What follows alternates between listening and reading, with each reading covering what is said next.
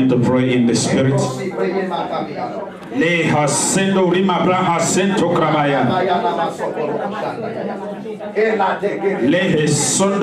While you are speaking in tongues, you are coming out of any bondage. You are declaring your liberty. He says, stand fast, stand firm. Therefore, in the liberty tonight, you are being loose. You are being loose from any financial bondage, from any health bondage, from any representative of any bondage. Thank you, Holy Spirit. You are loose. In the name of Jesus. Hallelujah. Hallelujah. Hallelujah. Can you say, I am free? I am free. Say, I love freedom. I love freedom. You didn't say it as if you're sure. Say, I love freedom. I love freedom. You see, when we say freedom, we say it and everybody have their own meaning of freedom. Mm. But why you say I love freedom? Which way? Which area? I'm going to share something with you before we conclude tonight. You see, somebody said, I love freedom. Mm. But then, to another sister, she need freedom from sickness. To somebody, she need freedom from finances. To somebody, she need freedom from lack of peace at home. But what if when you say, I love freedom, you can boldly say, I love freedom in every area of my life? Hallelujah. Come on, say it one more to say, I love freedom. In every area of my life. My finances, I am free. In health, I am free.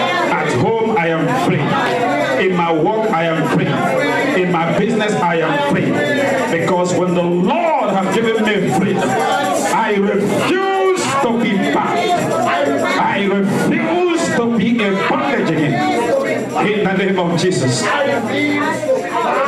Amen. Can you say amen? In Jesus' name. I want you to just sit down briefly. I want to give you something. You know, I had wished that he would have let me enjoy the whole thing. But that's one of the big prize we have to pay for being men and women of God. What I usually do sometimes, if I would have had the address, I wouldn't tell him. I would just sneak in. You know. But when he was sharing, realized that he said something that even though some Christians were set free, it is possible for people to go back and become bound again. Now, we that come from originally from Africa, my wife is American. She's an Igbo wife who is born in America. Amen. Why did I say that? She cook all our foods. And the other day, uh, you know, we were eating fufu at home and uh, I was eating it with fork. And do you know what? She's born here. She said, You are disgracing the fufu. I was eating it with fork. And she was eating it with hands. and then she said, The African people, they will sue me for eating it with fork. So I love that woman of God. Put your hands together for Jesus Christ. She's a prophetess of the Most High God. We work together. We are senior pastors in the church. You know, in Dallas, we have uh, branches, and I planted several churches before I made the transition. But tonight, she was some, he was saying something about freedom. Now, oh Jesus Christ. Before you leave here tonight, there's a certain freedom that you walk away with. There's a freedom that when you have it, even the devil will be so afraid to approach you. Because he knows that now you found something. Many can be free without knowing that they're free. Are you listening to me? Yes. For example, when Jesus said, Thou you shall know the truth, and the truth you know shall actually King James said make you free. And I love the idea of make. The other translation says set. And they look the same, but they're not. made means that it is of permanent. But set comes after you are made. For example, if somebody have committed a crime in the state of Texas and was sent to prison for five years, for example, are you following me now? And then in January, after serving maybe three years, the governor of Texas officially pardoned his crime. That day he's made free. But he's still in jail. And he doesn't know he's been pardoned. Mm. He doesn't know that the governor of Texas mm. have pardoned his crime. Mm. But he's in prison. And maybe the prison guard didn't like him, so they didn't even tell him. Mm. This good. Are you listening to me? So they didn't tell him. So he's there serving his five years, not knowing that he is pardoned which month? In the month of January. And then February passed, or March passed, and April passed. And in the month of May, you know, they give these prison newspapers. And when he found the newspaper, he was reading the front page just like as usual, all bad, bad news and bad news. And he comes at the corner and he said, on the fifth day of January 2015, the governor of Texas pardoned Mr. So so so and so. The day he found out that information is the day he's set free. He can walk out of that prison and be unstopped. Yes. But when was he made free? In January. So he served five months Extra. extra due to ignorance. Hmm. It would have been easy if somebody would have whispered. But, but, but God is not waiting for someone to come and knock at your door to tell you that you are free from financial failure. God is waiting for you to find out that 2,000 years ago I was made free from financial failure. Glory to God. Free. Thank you, Jesus. Hallelujah. One of the things about bondage is, you know, like I said, we that are raised in Africa, when we say bondage, we always talk about bondage of the devil in like demonizing. But one can be bound.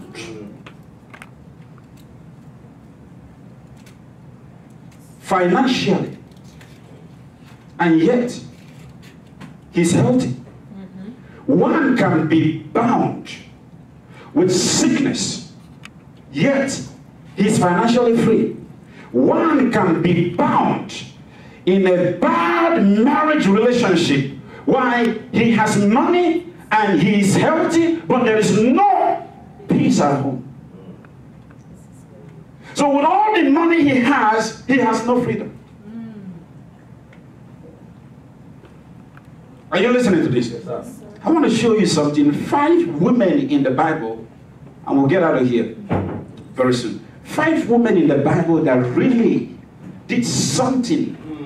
These five women, they're not popularly recognized. You know, when you say five women, most people usually pick out uh, that could be probably Sarah, and if it is not Sarah, it will be probably maybe Sarah, and then Miriam, and then Deborah, and then they will jump all the way to Mary, the mother of Jesus. No, these five women, you hardly hear about them. But what they did, Yeah. Yes. Yeah, yeah. what they did Glory was different. You see, when you are bound, you you you you, you put yourself in a survival mode. In in in in oh Jesus Christ. Listen to this. There are people who are still recovering from their hurts. When you have bondage, you're recovering. You know, I'm trying to recover. Uh, things has been happening. I'm just trying to survive. But you see, when you stop the recovery zone and leave the recovery zone and enter into the discovery zone, you are not free yet. Because when you're hurt, it takes time. Some people say it takes time to heal. That's what the psychologists told us. But when Jesus said, Be healed, Did he send them to psychologists and say, go and take time to Uh, recover and so that you can be free? And no, no, no. He said, be healed and be made whole. He doesn't need a long time to recover. Uh, if somebody say, well, I suffered a financial failure because I invested in business. I've been trying to, you know, recover all these years. No, you have to get out of that recovery zone and get into the discovery zone because there is something waiting outside of that zone for you to discover. And until you get into discovery zone, you will live a survival life. But tonight you're coming out of recovery zone and you're getting into the discovery zone because there are greatness waiting for you to be discovered. hallelujah. Glory. Five women in the Bible. You'll be surprised that their name are not popular. But what they did should have been very popular. Yeah. I, I, I, I've talked about these five women. I've taught it in women conference. I've taught it even in men conference. Because what they did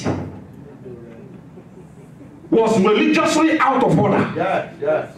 But spiritually, God endorsed it. God. Because they got tired Ah. of being victims. Yeah, yeah. They got tired of being pitied. They got tired of having someone to pity them. They got tired of attending the pity party. I tell the church, he said, he said, choose your friends. If they're always having this pity atmosphere, either you change it or you leave them alone.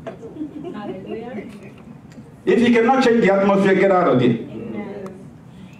God sent you there to be a light. Mm-hmm. But if they're always talking about, oh, well, you know, uh, my husband, or somebody treated me bad, my husband left me, or my husband is threatening to leave me, I lost money two years ago, three years ago, and that happened, and they have nothing good to say. If you can't change that atmosphere, leave it. Because if you don't leave that particular group, very, very soon you start talking like them.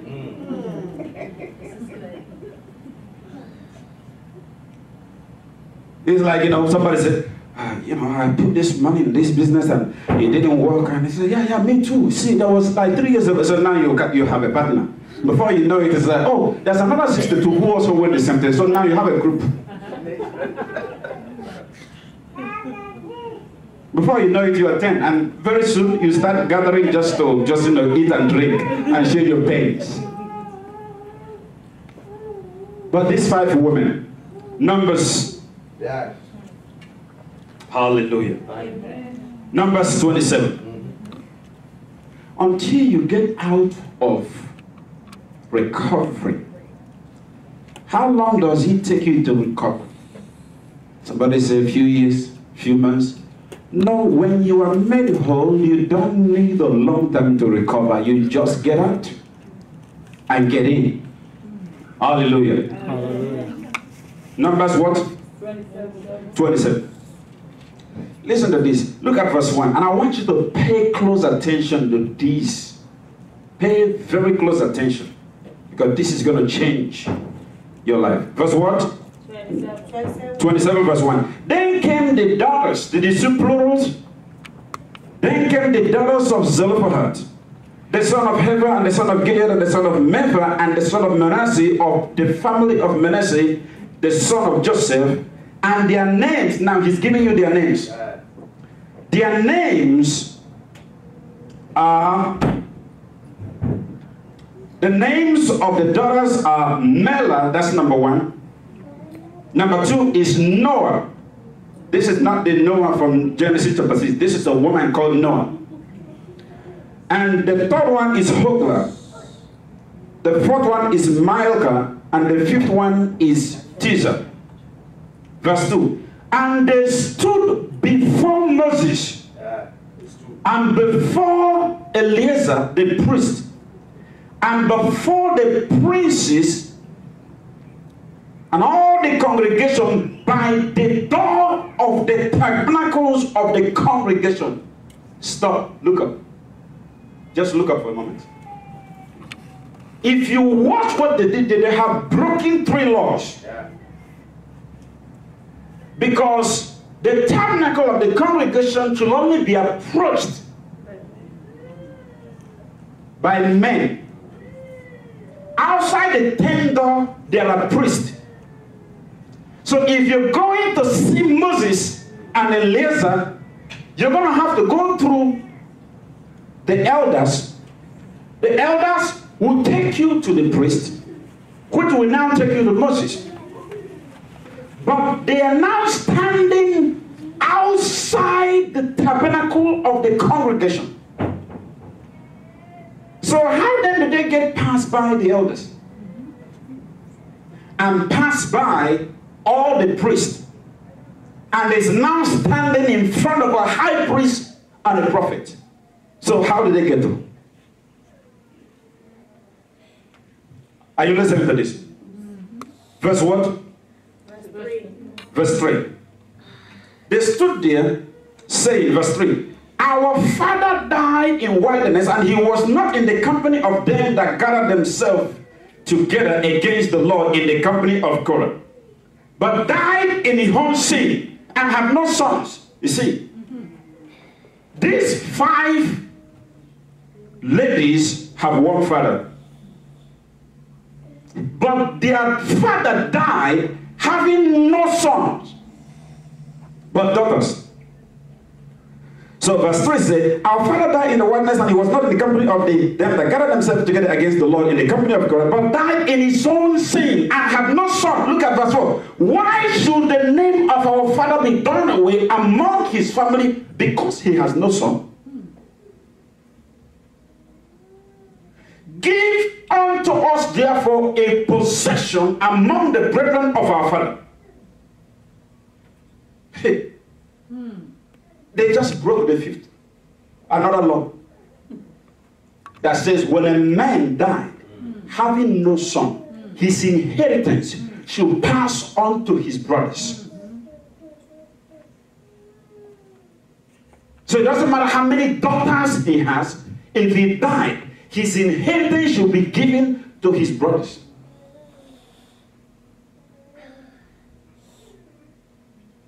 But then he, he now, these five women said, Why should the name of our father be removed from the list because he has no son? That's too much.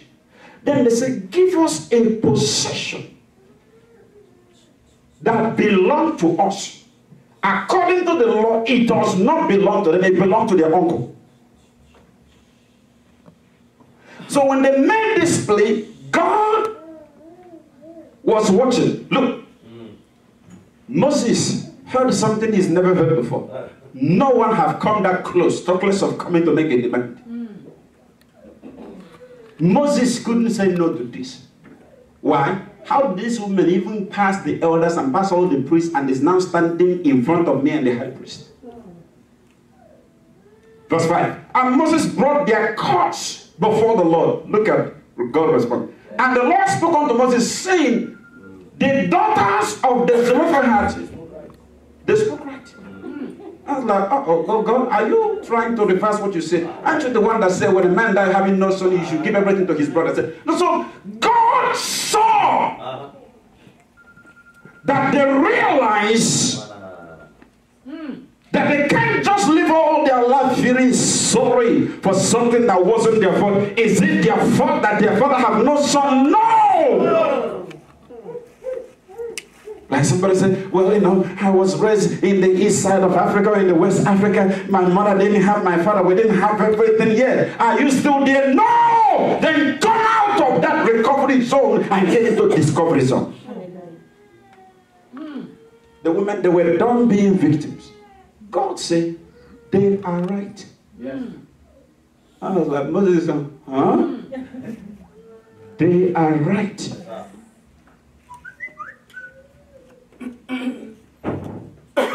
Verse 7. And the daughters of Zelophehad spoke right, Thou shalt surely. Now, he said, Thou shalt surely, surely give unto them the possessions hmm. that belong to their father. It doesn't look like God is now reversing. He, he, five women was able to get God to reverse Hallelujah. his own law. Are you listening to me? When you realize what belongs to you, when you get tired of feeling sorry for yourself, when you get tired of looking for somebody to blame, when you rise up and stand on your possession, there is nothing the devil can do to stop you because even God Himself will revise His own commandment just to give you what you want. Yes. God actually changed the law of possession. He said, from okay, I know I said it before, but because of this woman from today, when a man died, having no son, ah, are you listening to me? So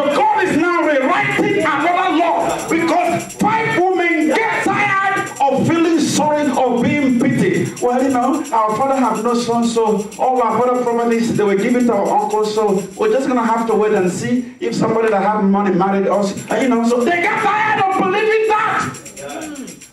Yeah. For the first time in history, Yeah. God changed his law God. because somebody woke up and said, Hey, this is not right. If my father had no son, why should I be the victim of my father having no son? After all, I am still a daughter of my father. So am I now the one who chooses whether a man should bear sons only and bear daughters? Said, No, why should I be punished because of something I didn't do? When you get tired of being laughed at, when you get tired of feeling sorry for yourself, when you get tired of being sick, when you get tired of lacking, when you get tired, you will take what belongs to you. God said, From now, when a man die, having no son, but have daughters, get the possession and dump it onto the daughters. The only way you pass it on to the brother is if the man have no children at all. And then when you give it to the brothers, you know, God rewrited the law because someone realized if I don't do something, Uh, are you listening to me? Like somebody said, eh, whatever will be, will be. It's not true. We've said that a long several times that we're starting to behave that is no, whatever will be will not be. Are you listening to me? He said, God said, I have given you the land. That's what he told the Israelites. I have given you the land, but you have to go in and possess it. And just because it has been given doesn't mean it has been possessed. Yes. And just because you have not possessed it doesn't mean God have not given it. Ah. So he said, I have given you the land. Now go in and take it. Thank you. Moses' generation couldn't take it. Hmm. But Joshua generation, Hallelujah. they're not waiting. If you study his generation, the generation wasn't, they, they, they're not the one that said we need water.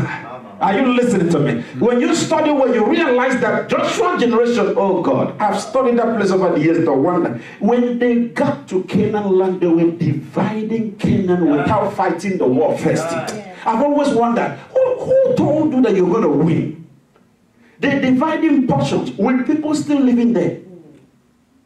I would have thought you fight first.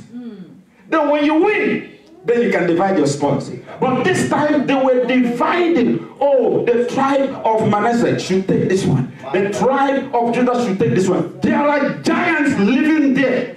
So before they drop them out, everybody know. Oh, Jesus Christ. when you get tired, these five women, they're no longer going to feel sorry for themselves. He said, Why should the name of our father be done away because he has no son? Give us what belongs to us. Give us what belongs. And Moses said, God, what shall I do? God said, You shall surely give them. And listen, from now on, and as you're listening now, whatsoever that have made you feel like, yeah, this may have to be your situation until someday, come by, come by, God is going to do something about it. God already did something. He's waiting on you to make a move. There are 12 people in prison, and when the prison door opens, 10 looked and they saw trouble. But two of them look outside and they saw bread. Joshua and Caleb.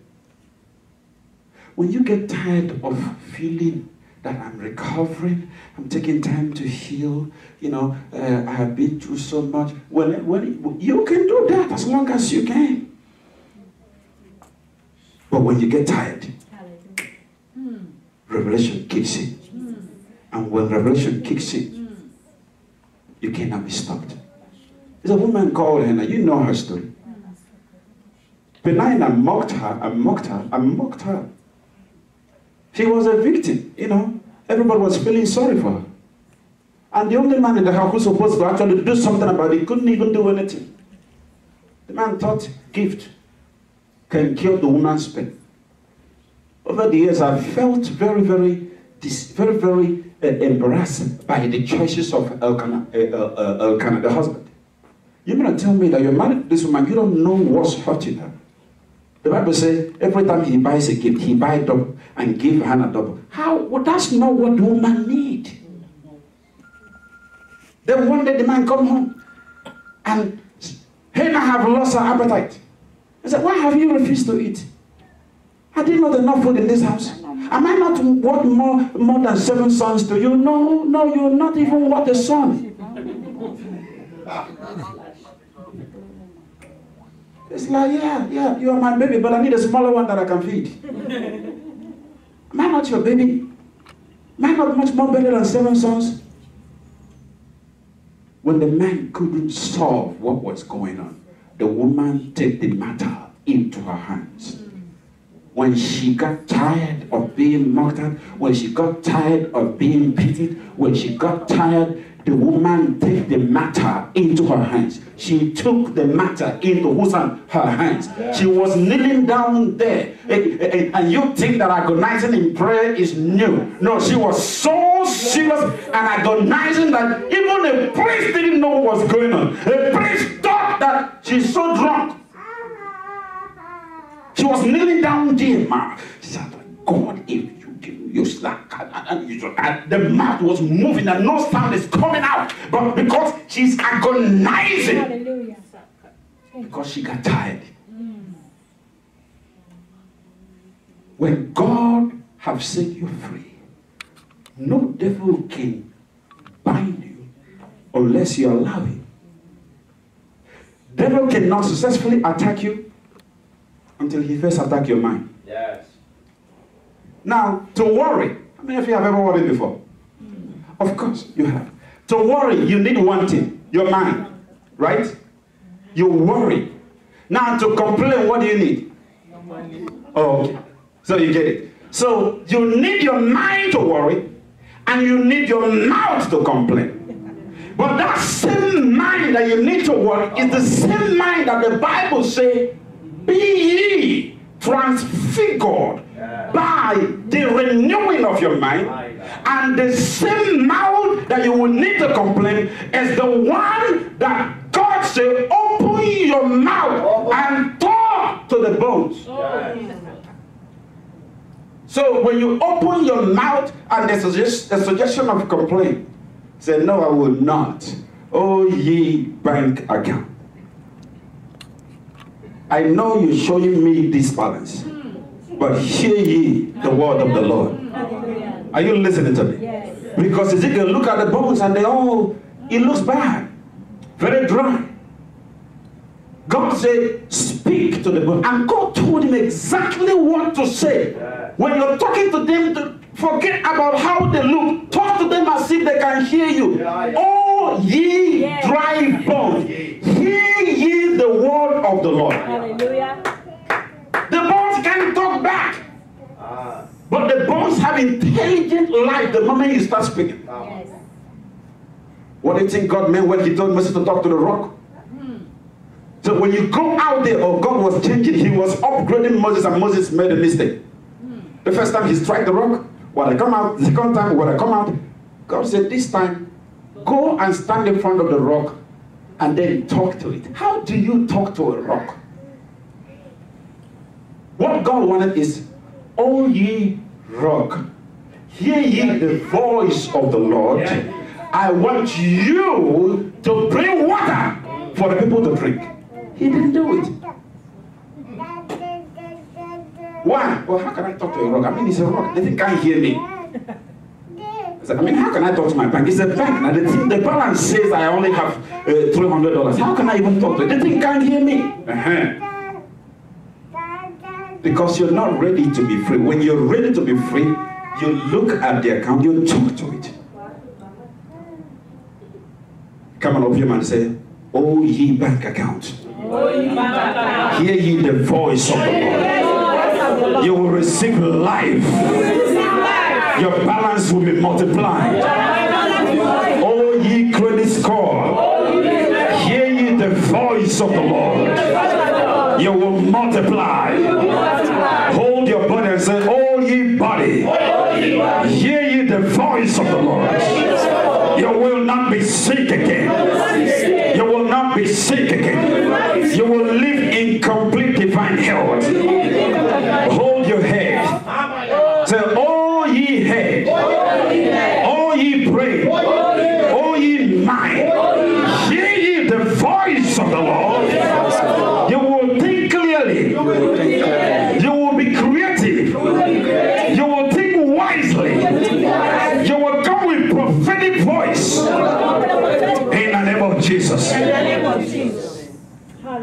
Finally, the man by the pool of Bethesda. We've studied that place over the years. How the man get here? You know the story, right? The man by the pool, by the fifth chapter of John. But the saddest thing that happened there, I, every time I read that place, I say, how could they not see it? The Bible says an angel. How often does the angel come and turn the water? Once. In what? In a season. And a season is approximately four months. A season, if you calculate it in a season, three to four months. Okay? They have winter and then they have spring and they have summer and then they have uh, fall.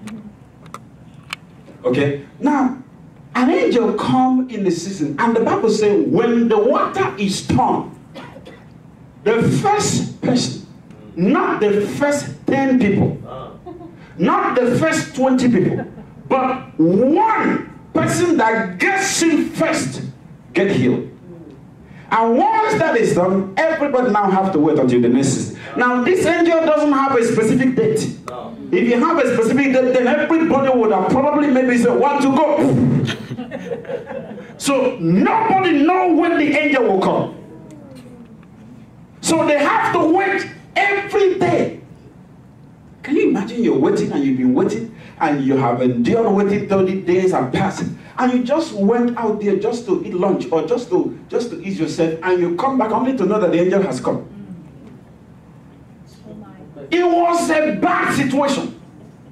In other words, you beat yourself not to take breaks because you could sneak out to just breathe and it's over.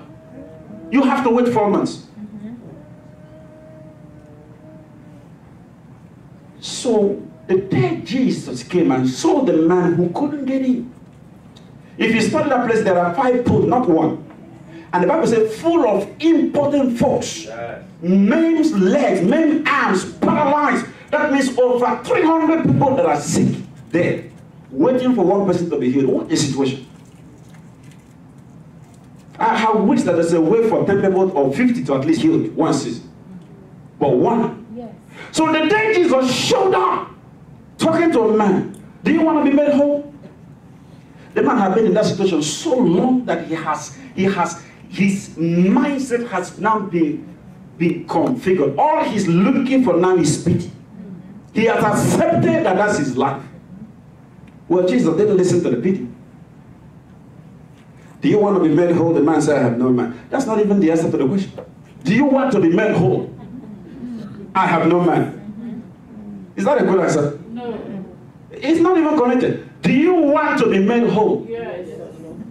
I would have said, Yes, sir, yes, sir. Yes, sir. Can you help me? You know, yes, sir, I want to be made whole. But the man said, Do you want to be made whole? The man said, I have no man. And then he started saying how that when the angel come before he tried to get in, of course he didn't stand the chance anyway because he's paralyzed. There are people that can walk but no hand. There are people that are blind, they can walk. There are people that can see, but they're deaf. So he didn't stand the chance making it that fast. How is it that he came there, Jesus, and healed this man, and they look at the man, get healed by Jesus, Mm, Well, mm. and they watch Jesus Go. Mm. Mm. walk away. Oh, they say, ah, you're on half no. Congratulations. Ah, you're so lucky. We've been waiting. the sad part is, once in a season, one person get healed. An angel turns the water. The one who sends the angel, the Lord Himself. Mm. shows up. And suddenly, only one person still get healed. Why didn't they just grab Jesus? Why didn't they just reach out? They saw him heal one man and they saw him just walk like that. Why didn't they just reach out? The Bible said he entered one city and as many that touched him, as many that touched him, not as many that cry and feel sorry, no, as many that touched. Not as many that look sad, no, as many that touch. Not as many that desire it, not, but as many that touch. You know, many people they have great desires, but they're not willing to do something about it. Don't tell me how much you know. Tell me how much you have applied what you know. Yes.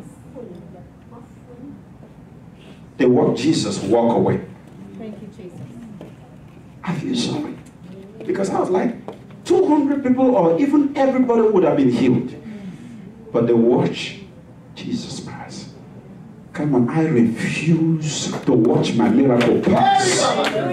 I refuse. Open your mouth, be on your feet. Be on your feet and say, I refuse to accept failure. I refuse poverty. Because I am rich in the Lord, I refuse to be sick. Because I walk in divine health, I refuse to be sick. Because I walk in I refuse to be poor. Because I walk in victory, I refuse to be defeated. I refuse to watch my miracle pass. I refuse to watch my healing pass. I refuse to stay the same. I am making progress. My life is not up and down.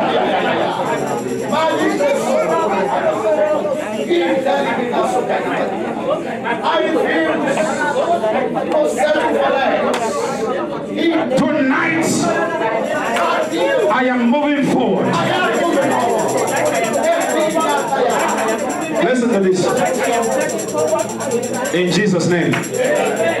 You see, this is the last Thursday you've been doing this, and this Thursday you're not stepping out here without you being completely. Amen. You know, sometimes we use the world phrase. So our life is up and down. We have said it so much that it has, it's starting to feel like it's the promises from God. Life is up and down. Ah, like the struggle continues. No, according to the Bible, the life of a Christian is not up and down. Yes. It is forward Hallelujah. and upward. Above only. Forward and upward. Forward and upward. Uh, Man of God, what are you trying to say? Haven't you read Proverbs chapter 4, verse 18? That the path of the righteous man is like a shining light that shines more and more and more and more. It doesn't shine today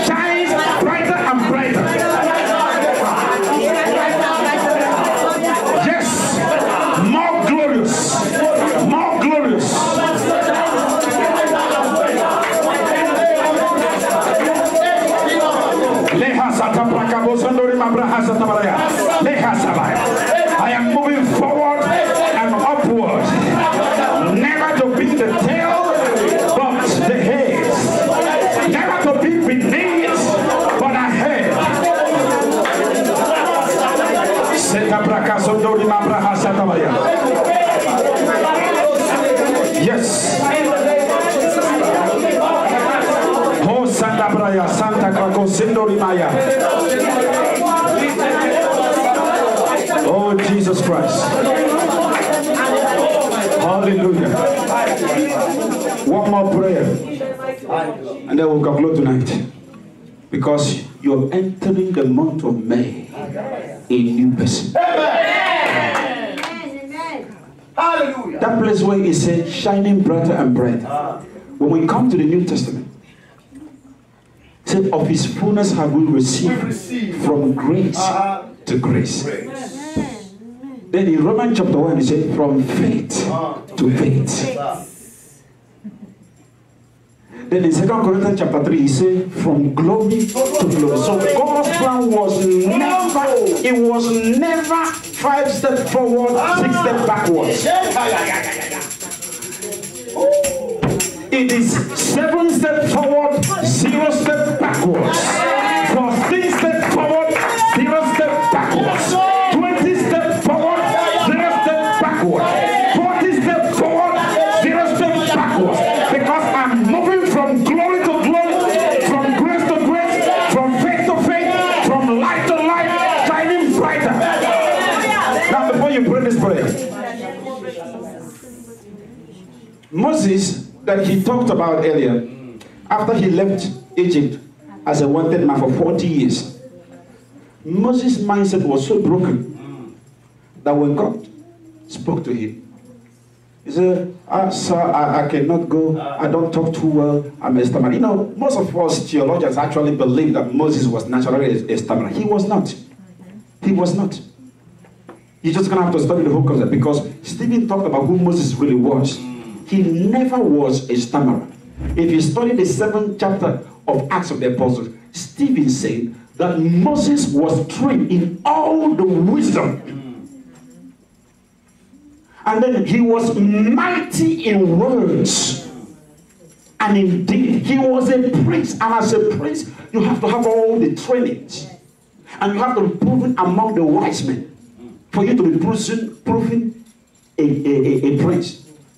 But he has stayed too long in running away, losing everything he has.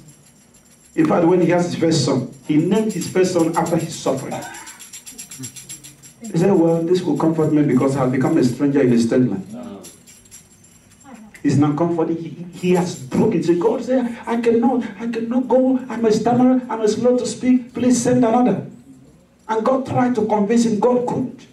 God now had to bring Aaron. But what Moses didn't know is that while he was talking to God, God was nudging his spirit and putting something. Yes, yes, yes, yes. Yeah, when he landed in Egypt and he was able to ask Aaron, but after the first and second plague, watch, watch Moses in action. The one who said, I cannot talk, I, I cannot talk, I'm too, you know, I'm too slow to speak. Early in the morning, the prophet could go take his normal shower. He caught up and said, God says the Lord. This is the person who cannot talk. He said, said, I'm too slow to speak. Who do you think was talking when they came to the Red Sea? They said, we are hemmed in. The Egyptians are coming. And Moses, listen. He, he says, uh, uh, please just be quiet. Uh, uh, uh, uh, the Lord, uh, he was not whispering. The Bible says, stand still and see the salvation of the Lord. He was talking to two million people. Do you think he was whispering? No. He said, the Egyptian you see today, you shall see them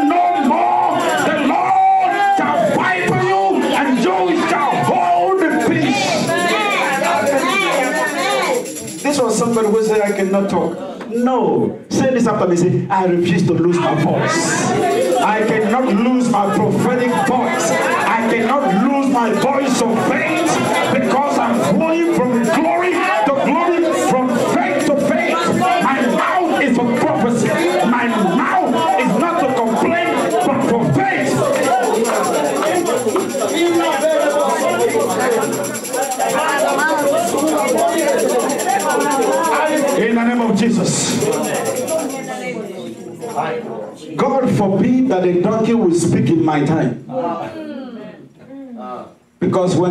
can't find anybody that will do the talking, oh, then he has to send a donkey.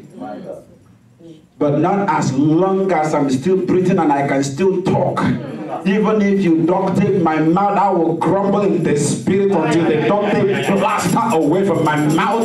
Open your mouth and say, My mouth is for faith. My mouth is not to complain, it is for faith. My mouth is not to complain, it is for prophecy. In the name of Jesus,